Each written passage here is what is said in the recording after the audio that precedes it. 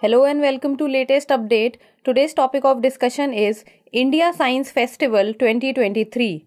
Hyderabad will play host to the 4th edition of India Science Festival 2023. The India Science Festival, which is ISF, is the flagship annual event of the Foundation for Advancing Science and Technology, which is FAST India.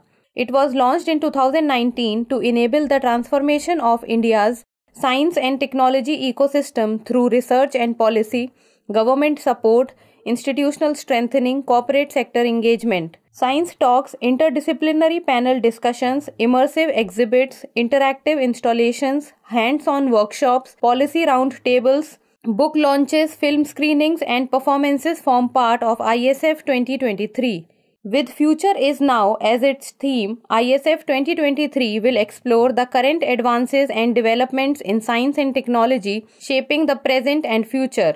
ISF 2023 will be free and open to all and strive to connect young people and public with scientists, engineers, health professionals, innovators, industry professionals, and experts from various fields.